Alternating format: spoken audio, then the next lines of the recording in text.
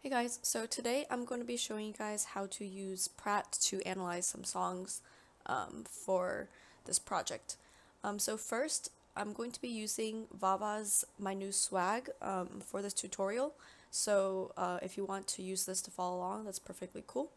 Um, so first, you have to find your song. Um, I just pulled it up on YouTube. I think be able to hear it, and um, this song, for example, has lyrics that go with it, so you can kind of know where uh, the lyrics go along in the song. I find it pretty helpful.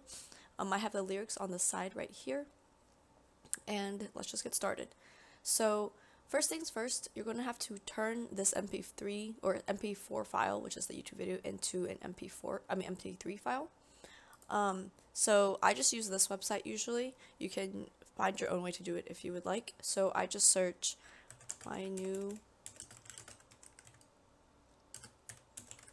and it'll usually come up um, so this first one's fine, and we just hit this download button, um, and then you can download MP3.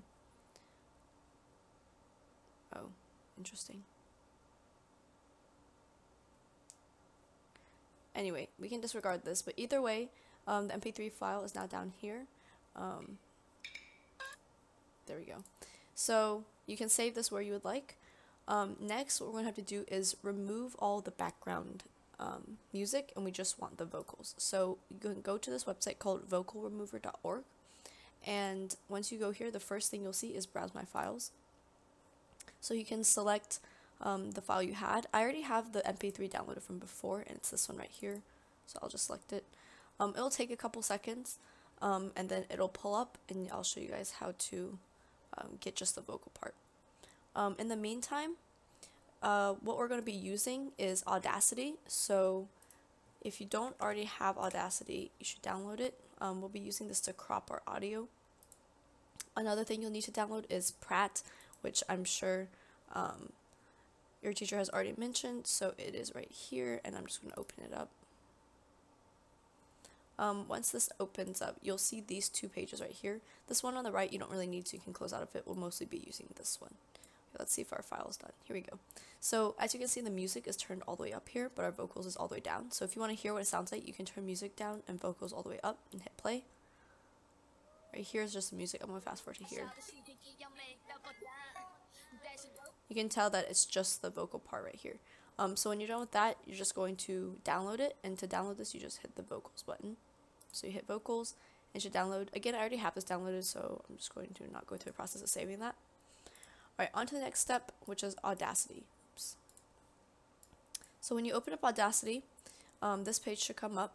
You're going to hit File, and you're going to Open, and we're going to search for our file. So it is this one. Make sure you pick the vocal one, um, and open it you can kind of click in here and hit the play button to see which part um, it is. I'm not sure if you guys are doing the whole song or just a portion of it, but for the purpose of this tutorial, I'm just going to crop out a little bit and work on it. Um, so the way to crop this is you kind of just select a portion, go to edit, and then I usually just like delete. And then I can select another portion, and then I can delete it, and I can listen to it. So once I'm happy with that, I can go to File, I can go to Export, and we're going to export as a WAV file right here, because that's the format that our Praat is going to want to use. So export as WAV, it'll come here, and then you can save it. I already have this saved, so I'm just going to close out of this for now. Okay, on to the Praat part. So once you have um, your um, cropped vocal section, we're going to go to Praat and we're going to open it. So hit open, read from file, and you're going to want to find that file. Where is it for me? Here's my wavy file. You're going to see an object here called sound along with your file name.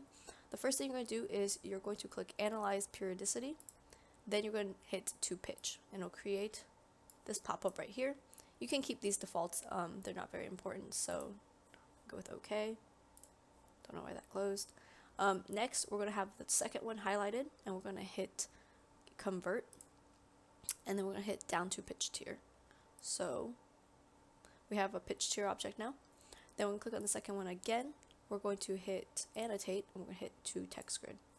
And that's going to have another pop-up. I usually name the syllables, and then I make sure this one's blank right here because we don't have any point tiers. I'm going to hit OK. and then we're going to have our fourth object here. And these are all the four that we're going to need. So now once you have all these four, we're going to select this first one and the fourth one simultaneously. If you have Windows, you're going to hold the control key, and if you have Apple, you can hold the command key to select both of these. And we're going to hit view and edit. Excuse me. So you're going to have this pop up. You can ignore the warning that comes up. It doesn't really matter. Um, this is what we're going to be working on primarily. So if you kind of just click anywhere and you want to listen to it, there's going to be a bar down here. And you can hit either visible part, which is going to be this whole thing, or you can hit like here.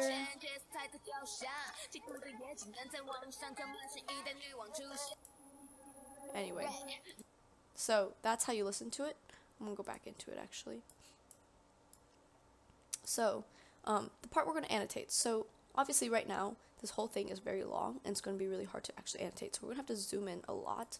So, I'm just gonna hit this in button down here. You can also zoom out by clicking the out button.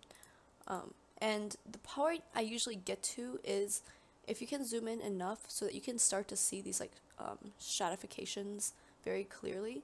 Um, this is like one chunk right here. This is kind of a chunk here. If you can start seeing these chunks, that's when you're going to best be able to annotate. If you get too close, it might be a little difficult too. So this is not a good place to be.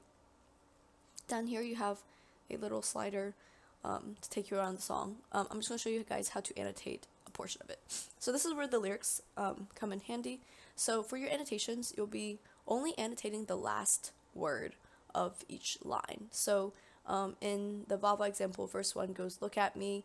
I can't really read this, and, but the last word is xia. Um, and so on this word, this is all we're really looking for. And in this one, jia is all we're looking for, and xia again, and ma. And so these are the words we're looking for, and we're kind of just ignoring this whole first part. So let's like listen to where we are in the song. So you can tell it's about to say, look at me. So we're going to scroll a little bit. Scroll a bit more. Keep going. Okay, so this now we can tell is where it says xia.